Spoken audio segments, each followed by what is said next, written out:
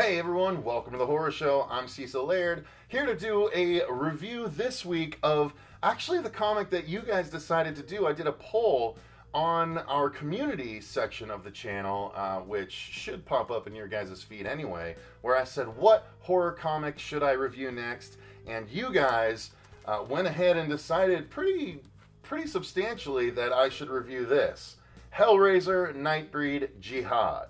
This is a straight up Hellraiser versus Nightbreed story, and honestly, in my pile of horror comics to read, I had that at the bottom. I was not super excited to read it, but I'm here to tell you guys that this two issue comic that is two, uh, you know, they're they're what you call prestige format comics. Um, they're pretty thick. They have a little binding on the side there. Um, these are from 1991, and they frankly are awesome. I am so, so glad that I got these. And so much did I like them that now I, as soon as I get paid a little bit extra from my job, I'm going to be getting the 25 Hellray or uh, Clive Barker's Nightbreed comic books because there was a Nightbreed um, comic book series around the same time done by, or at least it said Clive Barker's Nightbreed. But there are some characters in there that are characters in this too uh, and I believe there was a Hellraiser comic around the same time as well that had some crossover too. So um, these are technically part of that sort of comic continuity from the early, very early 90s. But this two issue series does well enough standing alone that I don't feel like I need to have read those. These are entertaining enough. So I'm going to tell you guys all about it. Uh, now, this this overall, like I said, I loved it. But the writing, while at first I was a bit confused as to what was going on with a, a couple of things, but it ironed itself out and it was really an amusing ride. Like, I was like, this is really an actual Hellraiser versus Nightbreed story. It wasn't, it didn't feel like something that was thrown together at the last minute. It felt like something, I mean, by the end, the lores actually tie together and it, it, was really interesting to see how they decided to play that out. So um, let me first say that uh, to give credit where credit's due, the book was written by D.G. Chichester. I have no idea if that's how you actually say the name or not, but that is how it's spelled. And the art was done by Paul Johnson. Here. Um, here, this front cover, I'll give you a nice close up look at it so you can see it is the Cenobites um, coming up to grab Boone and pull him down to hell. Now, if you notice, there's a heck of a lot of Cenobite arms there, and then Pinhead, of course, leading the pack in the back. That is no bull. There are a lot of Cenobites in this book. There are a lot of Nightbreed in this book. There are characters that were not in either movie, either movie series, um, that are so interesting and cool to see that I was really impressed. And as a fan of both movies, it was really fun to see the additions to the continuity. I don't know that it's officially canon, but it, it's really fun to see. So let me show you a little example of this artwork. Um, it is, quite frankly, the, the closest thing I could liken it to uh, was Alex Ross, sort of early Alex Ross. If you guys don't know, Alex Ross does a lot of painted style uh, artwork. I'll pull up a couple of examples here. Okay, so these are the covers of the comic books, and this is Alex Ross right here. There's a DC example and a Marvel example, but you can see the painted, painted style. It's a bit more crisp and clean with Alex Ross than this was, but let me show you just one example of a, of a nice, um, uh, this isn't a splash page, but this is an early, this is where Peloquin enters the scene um, so, I mean, look at this. There's Peloquin there kissing the hand of someone. There's a bit of a pinhead here. And then here's Peloquin um, jumping down and attacking some people. And uh, let me just show you another really cool. Well, I'll get to it, but um, I'll show you the art as we go, you guys. Let me fix the camera here. So the story goes like this. Basically, there is uh, the Nightbreed are existing post Midian. This is after the events of the Nightbreed movie, although there's one continuity slip up that I'm not entirely sure about. I believe that's the case though, because they talk about Midian having fallen, and um, Laurie is also already a Nightbreed, which happened, you know, at the end of the movie. Um, you know, uh, Boone had to, she killed herself, and then Boone had to bite her to bring her back, uh, and now they're both Nightbreed, and so the Nightbreed are kind of just existing, and um, specifically Peloquin, uh, that character that was just diving on someone. The book starts out with him uh, messing around, as it were, with the wife of a mob boss, uh, a human and uh, it's it doesn't go over well with them, and uh, so he gets attacked by the the dude's um, henchmen and everything like that, and he escapes with the woman. Uh, of course, there's some carnage in this book. I will say this is a mature comic, uh, but look at this artwork. It's so neat, and I mean, look at it down here. That's uh, that's pretty aggressive. Um, but it, it's it's awesome. Look at look at how cool and, and dark and, and nuts the artwork is. I absolutely loved it. Uh, so that's actually an important plot point. After that, we get a look at what's going on with the Cenobites. It, it cuts down to hell. I mean, it does give us a bit of a, an update with uh, with what's going on with the Nightbreed. I don't want to get it too close, or I'll have to keep fixing the camera. But you can see that Laurie has kind of made friends with with a lot of the Nightbreed, including this cool one. Again, this is one that's not in the movie, but look at how cool with the artwork you can get with the design of the Nightbreed. It, it's so neat. And then basically the Cenobites are having a large meeting regarding the Nightbreed.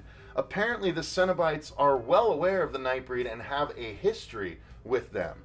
Now, what's going on is down in the uh, down in hell, which we saw in in Hellraiser 2, as you can see the big Leviathan, um, you know, symbol there. Uh, they're down there, and this is a, page, a nice splash page. I loved this splash page, so I wanted to show you guys. But this is an example of all of the uh, the Cenobites that we get to see in this. So check it out, man. I mean, there is, of course, Pinhead and the three that we know, Chatterer and the Lady, and then there's also a really big Cenobite here. Or here, there is a baby Pinhead sort of Cenobite here. There's a werewolf-looking Cenobite here. There's like a Lashina sort of Cenobite from the DC world. There's a straight-up skeleton with pins all over Cenobite here.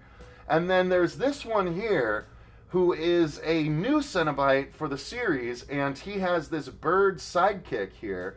Um, and basically, what happens is he starts to question the authority of Pinhead and says, We should just. They're talking about what they should do with the Nightbreed, and Pinhead is saying, They'll have their time, we'll get to it eventually, but this new Cenobite is saying, We need to go and eliminate them right now.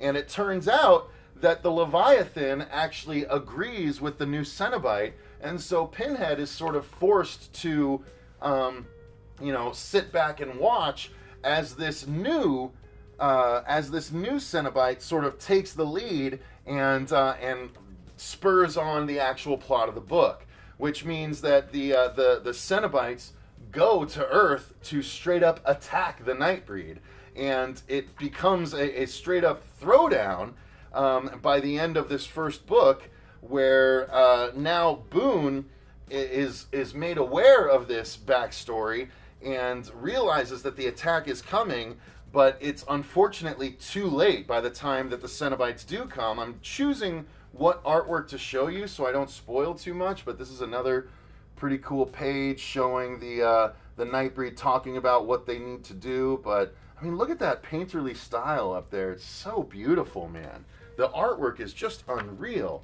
And then uh, the Cenobites attack, and you know, there's a, a confrontation, and uh, things don't go well for our buddy Boone here. He takes an axe to the gut, and his intestines are spilled everywhere. While this young Cenobite shows up, and uh, the Cenobite clan sort of attacks the Nightbreed. That's the end of the first issue. It's really bad ass. Like I was gonna say badass, and then I was like, oh, maybe I can't say badass. But honestly, with what I'm showing, I can say badass. It is badass.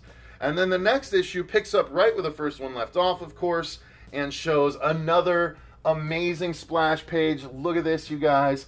This is the Cenobites doing their thing with a bunch of the Nightbreed. And you can see some recognizable Nightbreed here. You can see the guy. Here's the continuity issue. If it's post Midian, this guy got his head taken off. So how is he back? That doesn't make a lot of sense to me. But everything else is really cool. There's this Cenobite that's got like the pinhead nipple things, but it's got a bird face and a mallet. Um, there's uh, this uh, the other. Hang on. Yeah, see, there all the Cenobites are kind of here in the background doing their thing. It's just a really badass splash page, and uh, so there's a, a fight, and they're basically the the Cenobites are just going through the new sort of collection of Nightbreed and destroying them, as you can see here. Here was a couple of other Nightbreed that they could never portray in the movie but they're Nightbreed that are actually just translucent skeletons, and yet they get smashed by the mallet of that bird-faced Cenobite right there. Hang on, I'm trying to show you there. There you go. So they get smashed with the mallet, so that's it for those Nightbreed. The Cenobites are playing for keeps in this. It's really badass. So much so that there's a confrontation. Pinhead tries to stop the new Cenobite, and this is what we get as a result. Look at this!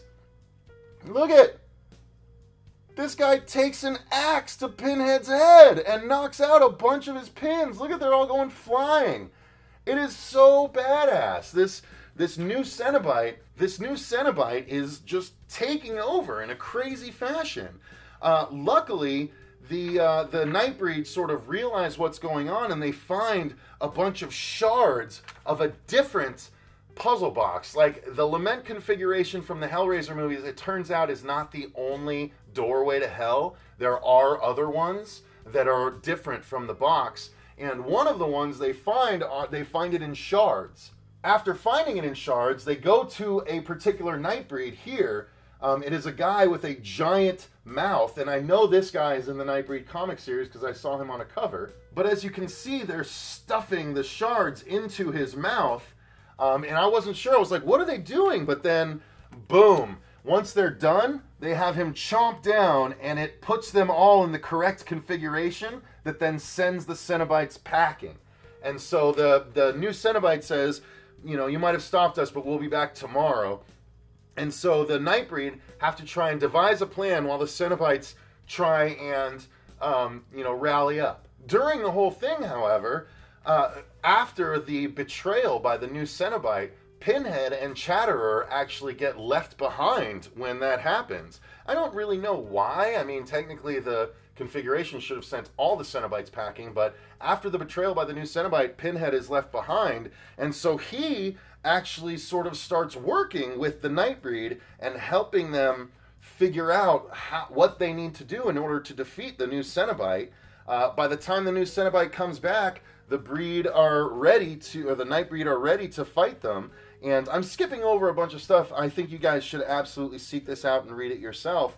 But there is another awesome confrontation in which um, Boone is taken down to Baphomet's body by Pinhead.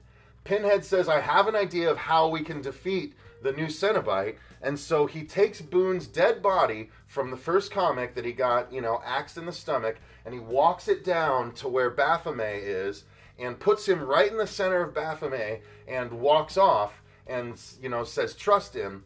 So when the Cenobites show back up, they basically, Pinhead calls for his help, and uh, on the next page, what we get is this a gigantic version of Boone as Baphomet. And uh, obviously, there's Pinhead here and Peloquin, and then uh, a Knight of the Last Crusade that ties into the story as well. I just kind of glanced over it. But this is Boone and Baphomet merged together in order to fight the Cenobites. And again, I'm not going to spoil exactly how it goes down, but it's actually, it gets really, really, really adult, and it involves the woman that Peloquin uh, was was messing around with because uh, he accidentally got her pregnant, and so now she's technically a human that is pregnant with uh, a part Nightbreed, part Cenobite baby, and um, it's it's really interesting how that plays in. There's some super grossness that I don't want to even explain. Um, that is unbelievable that they actually got away with putting it in a comic book, but it is honestly an amazing two issue series. I got it off of eBay. I think I paid like 18 bucks for both issues, and honestly, I would do it again. After reading it, it was absolutely worth that. I mean, the books were six bucks when they came out, 5.50 when they came out in 1991. Um, I think that's the price I saw. Either that or that was the Canadian price, but whatever. I mean, it's it's still worth it for the content that I got in these books. It was absolutely awesome, and I'm very glad that you guys uh, decided to have me read this and review it next. It was amazing, and I, it is something I will go back to reading more regularly, just like I will go back to watching Nightbreed more regularly. Uh, we do have a review of both Nightbreed and a review of uh, Hellraiser. I don't know if the Nightbreed review will go up by the time this review goes up, but it'll be up soon after. So, um, yeah, if you guys are into either Hellraiser or Nightbreed, I highly recommend you check this comic out. Thank you very much for watching. Until next time, I've been Cecil Laird, and remember, stay scared.